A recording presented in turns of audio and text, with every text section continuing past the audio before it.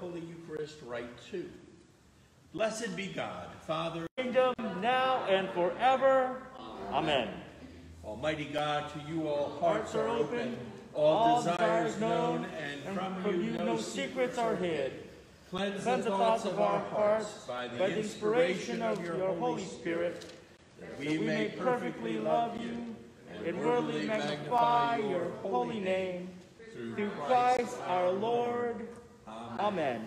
Our hymn of praise this morning is hymn number 551.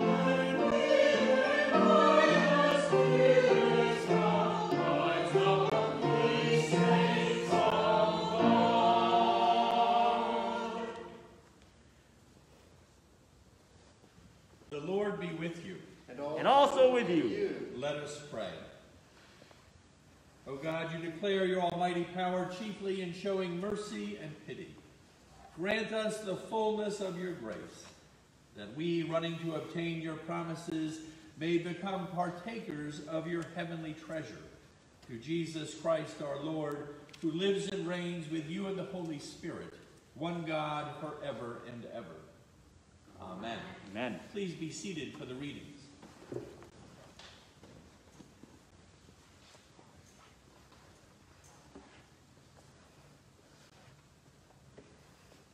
Reading for the book of Exodus. From the wilderness of sin, the whole congregation of Israelites journeyed by stages as the Lord commanded. They camped at Rephidim, but there was no water for the people to drink. The people quarreled with Moses and said, Give us water to drink. Moses said to them, why do you quarrel with me? Why do you test the Lord? But the people thirsted there for water, and the people complained against Moses and said, Why did you bring us out of Egypt? To kill us and our children and livestock with thirst? So Moses cried out to the Lord, What shall I do with this people? They are almost ready to stone me. The Lord said to Moses, Go on ahead of the people and take some of the elders of Israel with you. Take in your hand the staff with which you struck the Nile and go. I will be standing there in front of you on the rock of Horeb. Strike the rock, and the water will come out of it, so that the people may drink.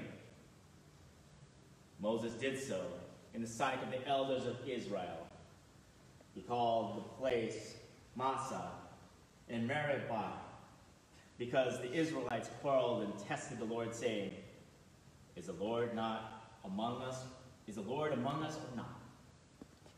The word of the Lord. Thanks be to God.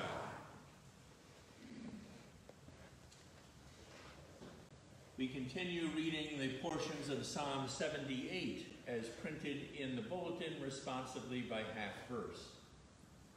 Hear my teaching, O my people. Incline your ears to the words of my mouth. I will open my mouth in a parable. I will declare the mysteries of ancient times.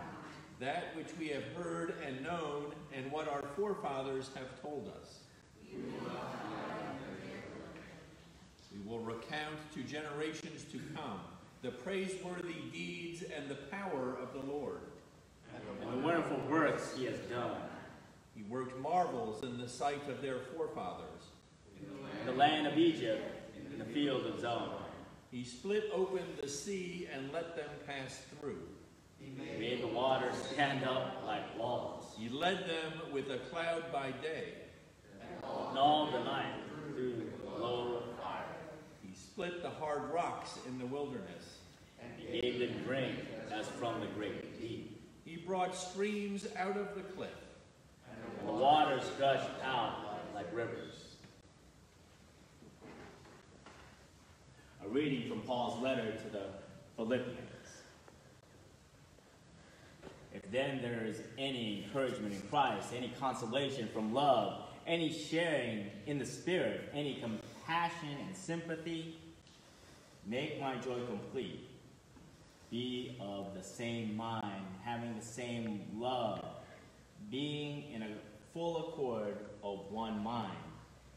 Do nothing from selfish ambition or conceit, but in humility regard others as better than yourselves. Let each of you look not to your own interests, but to the interests of others. Let the same mind be in you that was in Christ Jesus, who, though he was in the form of God, did not regard equality with God as something to be exploited, but emptied himself, taking the form of a slave, being born in human likenesses. And being found in human form, he humbled himself and became obedient to the point of death, even death on a cross. Therefore, God also highly exalted him and gave him the name that is above every name, so that at the name of Jesus every knee should bend in heaven and on earth and under the earth, and every tongue should confess that Jesus Christ is Lord to the glory of God the Father. Therefore, my beloved, just as you have always obeyed me, not only in my presence, but much more now in my absence, work out your own salvation with fear and trembling. For it is God who is at work in you, enabling you both to will and to work for his good pleasure. The word of the Lord. Thanks be to God. Together we stand to sing the Celtic Alleluia.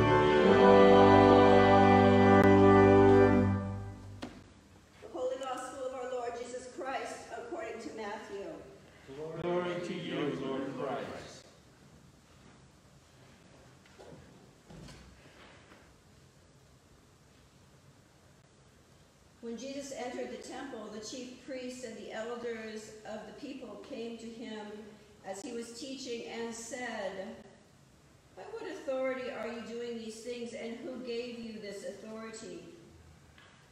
Jesus said to them, I will ask you one question. If you tell me the answer, then I will also tell you by what authority I do these things. Did the baptism of John come from heaven, or was it of human origin? And they argued one another, If we say from heaven, he will say to us, Why then did you not go? Why did you not believe him? But if we say of human origin, we are afraid of the crowd, for all regard John as a prophet. So they answered Jesus, We do not know. And he said to them, Neither will I tell you by what authority I am doing these things. What do you think? A man had two sons. He went to the first and said, Son, go and work in the vineyard today. He answered, I will not. But later he changed his mind and went. The father went to the second son and said the same, and he answered, I go, sir. But he did not go. Which of the two did the will of his father? They said, The first. Jesus said to them, Truly I tell you, the tax collectors and the prostitutes are going into the kingdom of God ahead of you. For John came to you in the way of righteousness, and you did not believe him. But the tax collectors and the prostitutes believed him, and even after you saw it, you did not change your minds and believe him. The Gospel of our Lord. Praise, Praise to you, Lord Christ.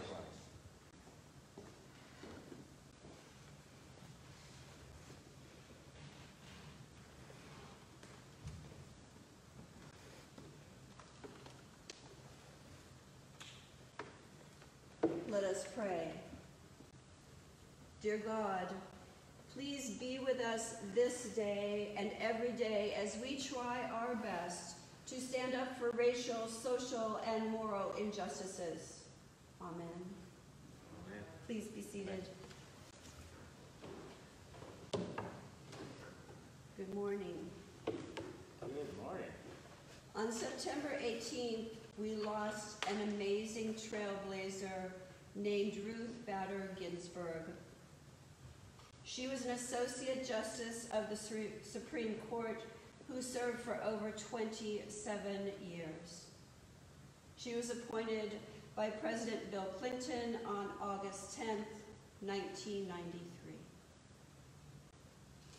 Her roots and her life history help us to under understand just why she fought so relentlessly for the issues of gender discrimination and for so many other issues to help to help protect the rights of the underserved and the voiceless. Her birth name was Joan Ruth Bader, and she was born in Brooklyn, New York on March 15, 1933, to immigrant Jewish parents. Now, the name Ruth in Hebrew means friend or companion, and it is derived from the Old Testament biblical figure Ruth, who, when widowed, chose to remain with her mother in law, Naomi, despite the tradition of returning when widowed to her birth family. In my sermon, I'm going to refer to Ruth Bader Ginsburg simply as Ruth. Please understand that I am not doing this out of any ill respect, disrespect for her, but rather out of a kinship and connectedness that I feel with her because she was a woman who stood up for what she believed in, in the same way that a deacon also stands up to address the needs and concerns of people. Now, before I delve into the various challenges that Ruth faced, I would like to share with you a one little tidbit about her history that you may not know, which is that she was a cheerleader at her high school, and her nickname was Kiki. And I can only imagine her little statue and cheerleading at 5'1". But in any case, that begins to show what, who she was.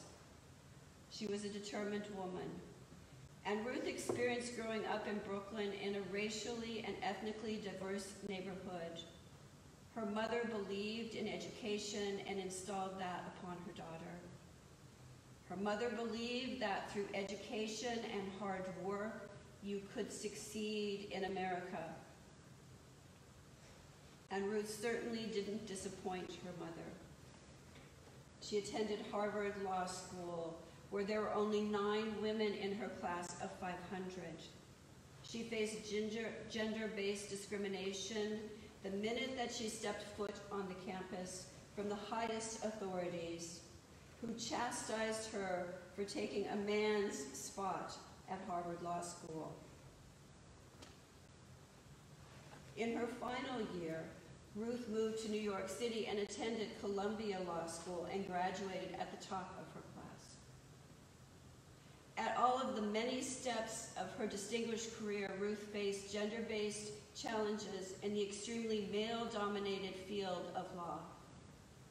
However, I believe that Ruth faced the challenges of being a woman in a male-dominated world with both grace and fortitude. Ruth faced gender discrimination at every step of the way during her illustrious career, but that did not stop her. It seems as though that through the challenges that she faced, it just empowered her to stand up for the beliefs all the more. Ruth stood up for gender equality rights in so many ways. And she had a motto which I'd like to share with you, which said, she stood up for what she believed in, and this is what it said. Fight for the things that you care about, but do it in ways that will lead others to join you.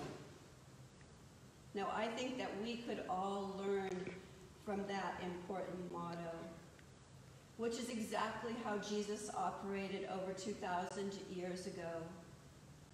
I believe that Jesus was a gentle spirit whose manner made his believers follow him to the ways of justice, truth, healing, and most importantly, to love. Ruth learned that you needed to stand up for what you believed in, and she fought for that belief while she served our nation as one of only four women in, on the Supreme Court since its inception in 1789. At her death, Ruth became the first woman and person of Jewish faith in the history of our nation to lay in state at our U.S. Capitol on Friday. Our nation is facing some extremely difficult times with our growing awareness of historical and current racial injustices, as well as our sorrow over the approximately 207,000 Americans who have died from COVID-19. It seems like the very basis of who we are as a nation is being challenged from so many different directions. And it is at times like this that I turn to God and to prayer to help settle my soul and I would like to share with you a prayer for our nation that is found in our Book of Common Prayer. Let us pray. Almighty God, who has given us this good land for our heritage, we humbly beseech thee that we may always prove ourselves to be a people mindful of thy favor and glad to do thy will Bless our land with honorable industry, sound learning, and pure manners. Save us from violence, discord, and confusion, from pride and arrogance, and from every evil way.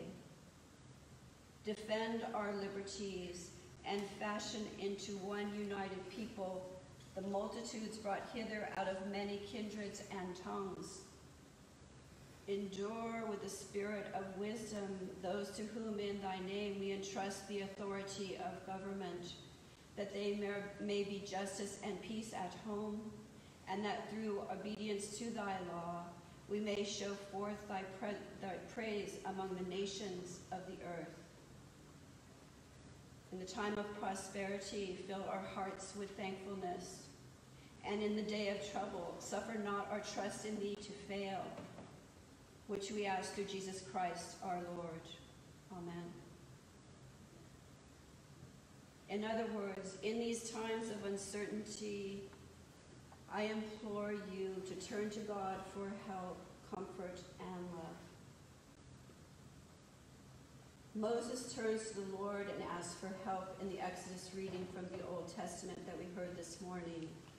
When people were thirsty and complaining to Moses about their predicament, the Lord tells Moses, Strike the rock, and water will come out of it, so that the people may drink. Moses turned to God during his difficult time of providing for his people and God showed him the way. And from Psalm 78, the same message is exemplified as well. It says, We will recount to generations yet to come the praiseworthy deeds and the power of the Lord and the wonderful work that he has done. We must trust and turn to God to help us and to show us the way to comfort and love. Jesus' ministry wasn't to the rich and famous. As a rabbi, he didn't bow down to the religious authorities. His ministry was to help the widow and the orphan, the lame and the possessed, and women and children. All of those who were living on the fringes of society. All of those who were ignored and not seen by the powers that be. He wanted his disciples, and us for that matter, to stand up for the downtrodden and oppressed. He wants us to see and recognize who is in need in our own community, to see who is being treated unfairly within our court systems, to see who is being detained under false pretenses just because of the color of their skin and where they come from. He wants to open our eyes to truly see those who need our attention and our voices. As I have said to you before as your deacon, I would encourage you to be Jesus' hands and feet in this troubled world, to see the pain and suffering of our neighbors, of those whose families are living on the streets and in mobile homes because they have lost income and of the rents charged in our area. The question becomes, how are you going to stand up to the injustices that surround us right now? How can you use your position of power to help those in need? Ruth Bader Ginsburg came from immigrant parents who believed in her. She went to the most prestigious law schools in our nation, and she was told that she didn't belong or deserve to be at those schools while she was there. As a result of the challenges that she faced, she fought for equal education, equal rights for women her entire life. We will surely miss Ruth Bader Ginsburg. Her presence and stature, even though she was only five foot one, she would stand up to make a difference in so many lives through her serving on the Supreme Court with grace and fortitude. Let us pray. Ruth, into paradise, may angels lead you. At your coming, may the martyrs receive you and bring you into the holy city, Jerusalem. Amen.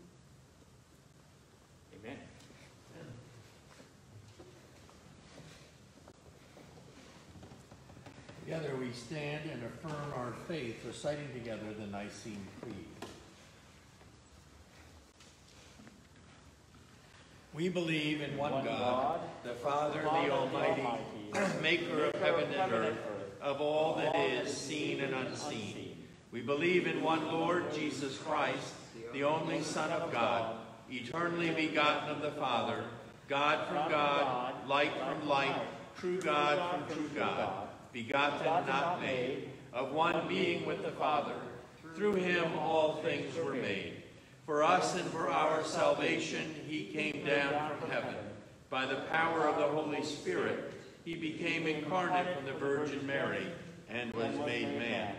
For our sake, he was crucified under Pontius Pilate. He suffered death and was buried. On the third day, he rose again in accordance with the Scriptures. He ascended into heaven and is seated at the right hand of the Father. He will come again in glory to judge the living and the dead, and his kingdom will have no end.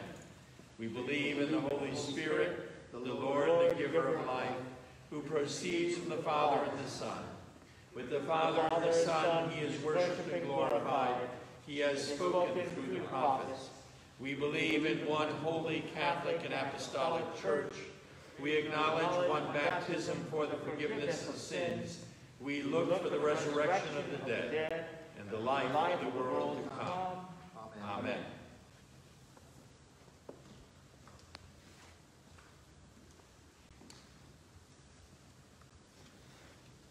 Let us pray for the church and for the world.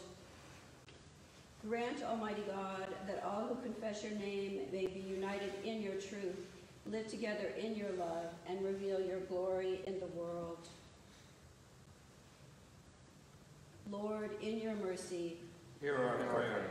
Guide the people of this land and of all nations in the ways of justice and peace, that we may honor one another and serve the common good. We especially pray for Donald, our president, and Gavin, our governor.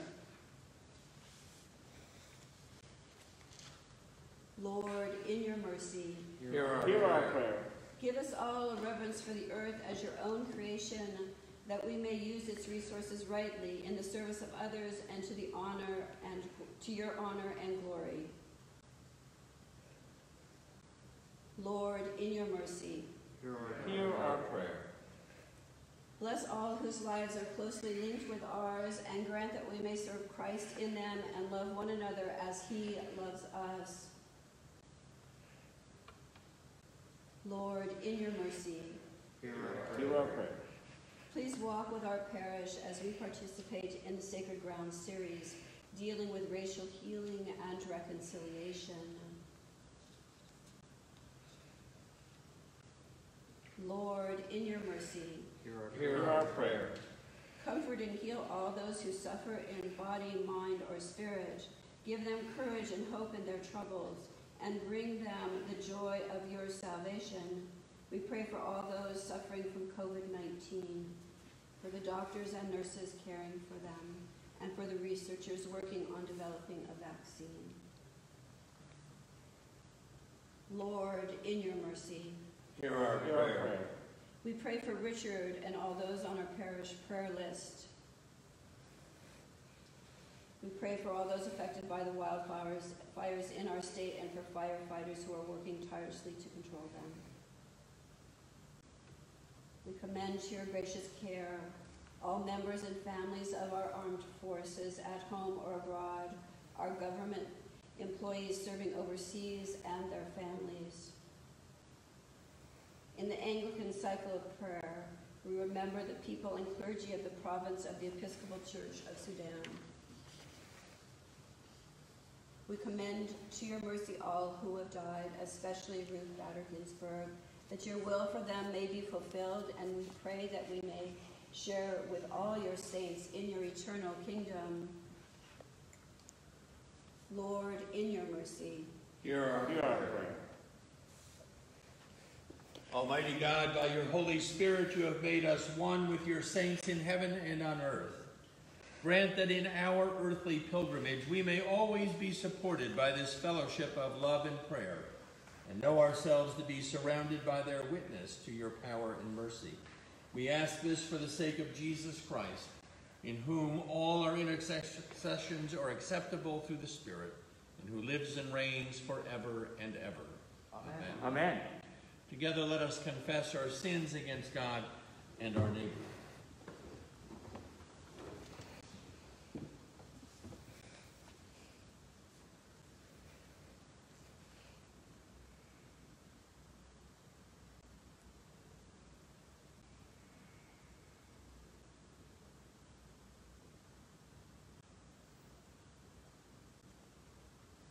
Most merciful God, we confess that we have sinned against you in thought, word, and deed, by what we have done and by what we have left undone.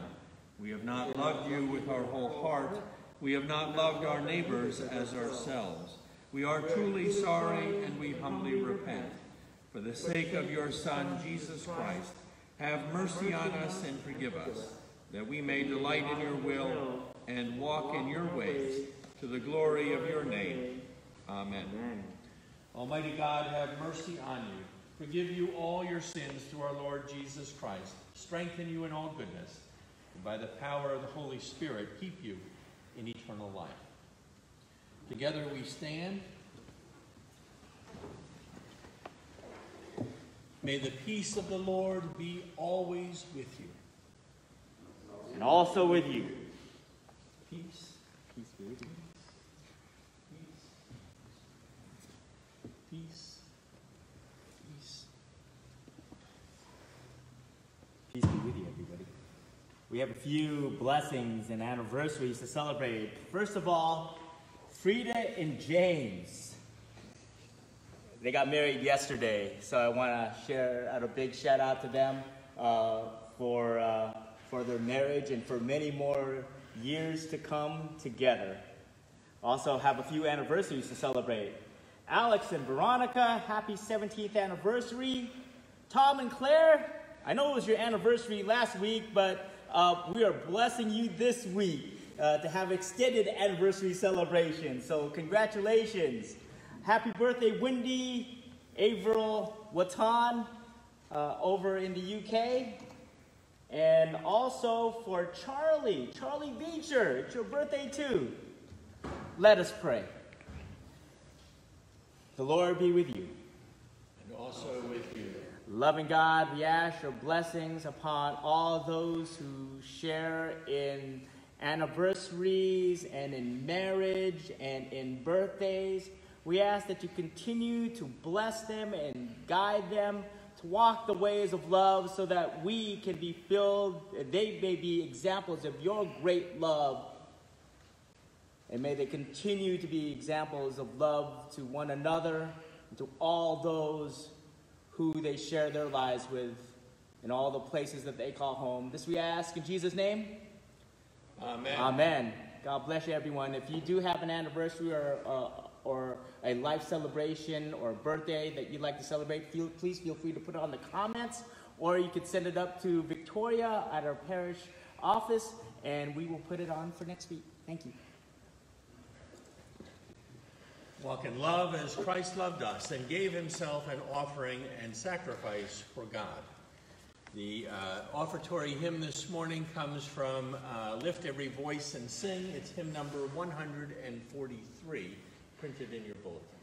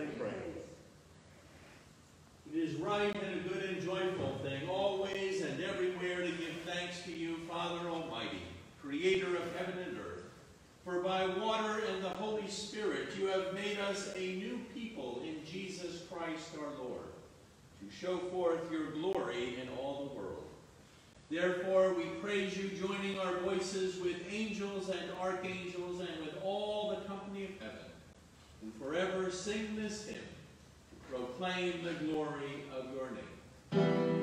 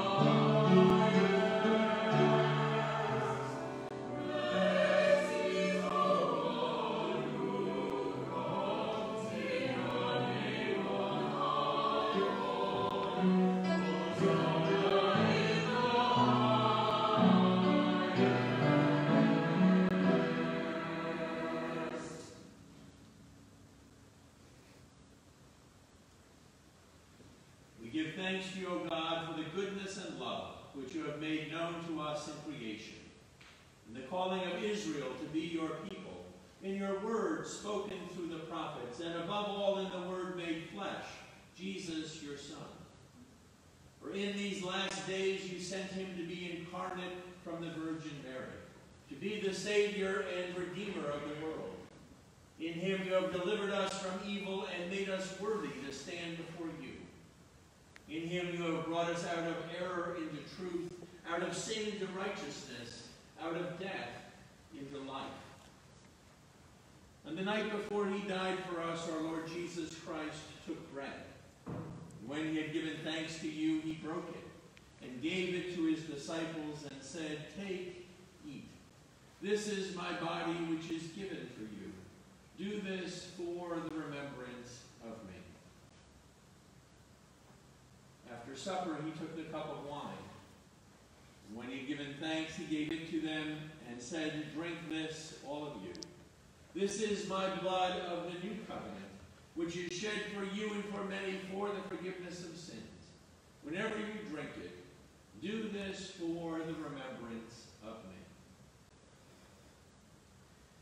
Therefore, according to his command, O Father, we remember his death, we proclaim his resurrection, we await his coming in glory, and we offer our sacrifice of praise and thanksgiving to you, O Lord of all, presenting to you from your creation this bread and this wine. We pray you, gracious God, to send your Holy Spirit upon these gifts, that they may be the sacrament of the body of Christ and his blood of the new covenant. Unite us to your Son in his sacrifice, that we may be acceptable through him, being sanctified by the Holy Spirit. In the fullness of time, put all things in subjection under your Christ, and bring us to that heavenly country where, with Matthew and all your saints, we may enter the everlasting heritage of your sons and daughters, through Jesus Christ our Lord, the firstborn of all creation, the head of the church, and the author of our salvation.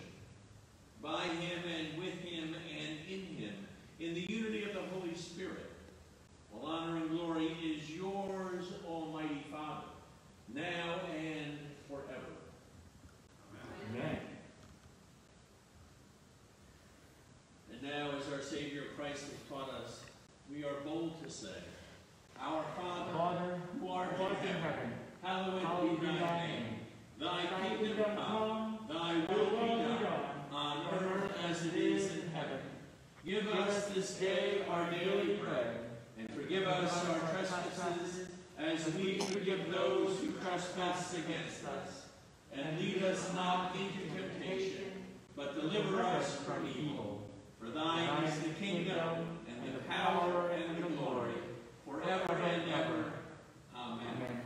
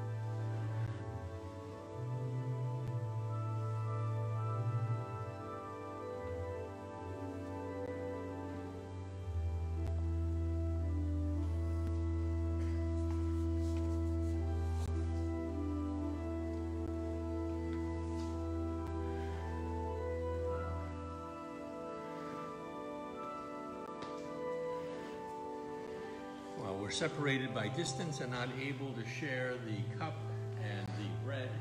A reminder that Christ told us that whenever two or three are gathered together in his name,